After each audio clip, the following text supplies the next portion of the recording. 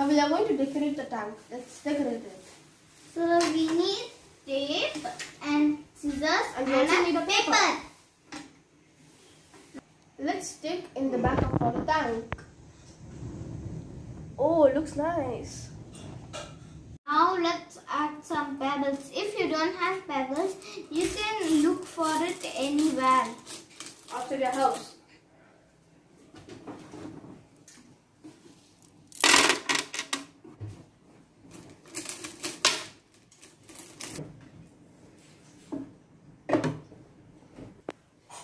Make a gap in the pebbles and take a artificial plant or a plastic plant and keep it here. And I'm using artificial. You can also Now I'm going to add a bridge to it. You can add any decoration if you want. This and this. Put your filter in. It gives fish oxygen. And I have a plug point filter. We can standing filter.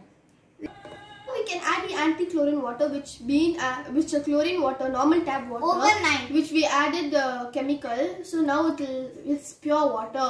We can also collect rainwater and add it to it. Now let's.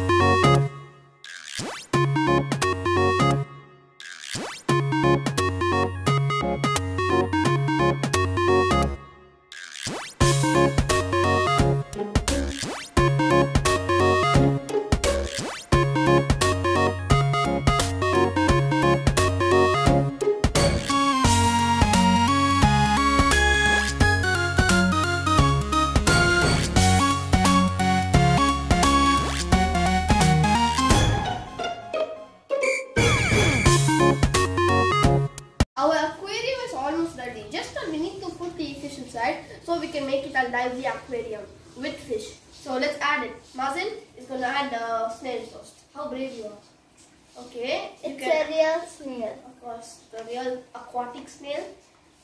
So we can, it will automatically stick to the wall of the tank.